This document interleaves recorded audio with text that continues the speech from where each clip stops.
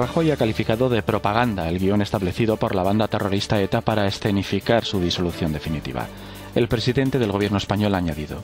Haga lo que haga ETA, no va a encontrar ningún resquicio para la impunidad de sus crímenes.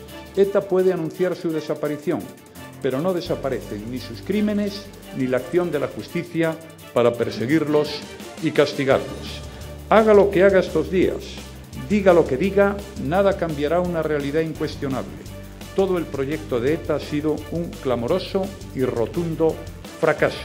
Rajoy ha destacado que los únicos artesanos de la paz han sido los guardias civiles, policías, jueces y fiscales que han acorralado a ETA.